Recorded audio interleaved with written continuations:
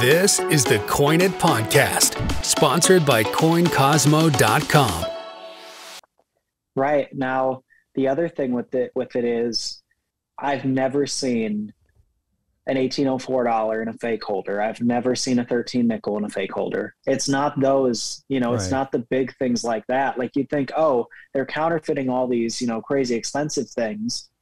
They're not because if you can trace it down like that, if you've got a pedigree and you can trace it like that, they're not going to do it because they'll never get Right. away with it Right. right. they're doing 14D uh, Lincoln cents, or they're doing 93S dollars, or they're doing 89CC dollars.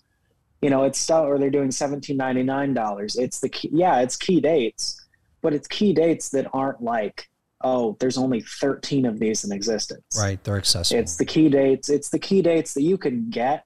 I mean, they're not cheap, but you can get them with you know with a little bit of searching. Right. Right. Wow. That's interesting, man.